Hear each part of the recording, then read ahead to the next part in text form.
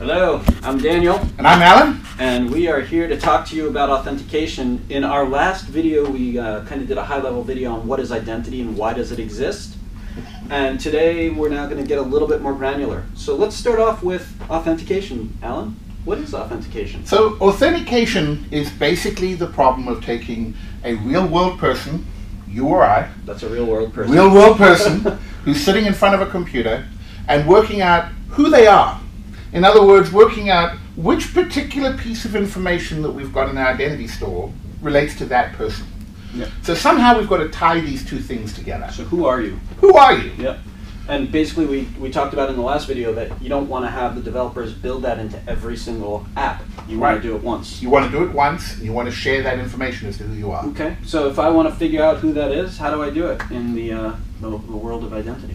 Well, in the world of identity, you would probably have some kind of login page, right? And these applications would send the user to this login page where they authenticate or type in some information that only they know. Most of us have used a username and password or something like that to authenticate ourselves. The identity system takes this information and does some magic, makes sure that it is indeed you, and can now tell each one of these applications that, yes, Daniel has logged in. So if that's me, and I'm Daniel trying to access Nice this app, yeah, when I hit that app, it's not resolving the authentication of the app, but rather bouncing it to the identity system. Correct. So the application is just saying, tell me who this is. Yep. And it gets told, ah, this is Daniel. And so I don't need to build login pages for every single app here. Absolutely not. We can share that, and all of the applications can take that same login. Okay, that's pretty impressive. And so, so this seems really simple, but does it get more complex? Like, what if I want to authenticate in different ways? Absolutely. So there's a lot of complexity here because everybody wants to determine who the user is in a different way. Mhm. Right? We've all used banking applications where you've got a username and password and some magic pin. Yep. Or there's other applications where you have to use some kind of secret token that gets emailed to you.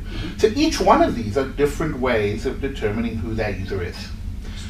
Okay, so based on the security of the app, based on the importance or uh, um, how much security you want to build into those apps, it Could be influences the how application, it could be where the user is, could be based on all sorts of different things. And so the examples we, we talked about a token card that banks give you could be one-time password via a phone, Could be a Um, key card or key something card, like or that. mobile app.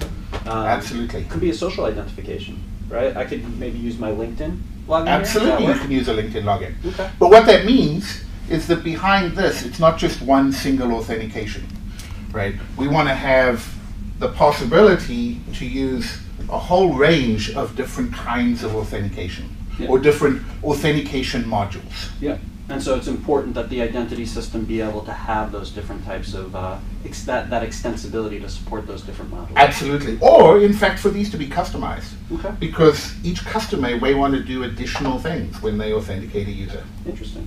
Okay, well, I think that gives a good introduction to what authentication is.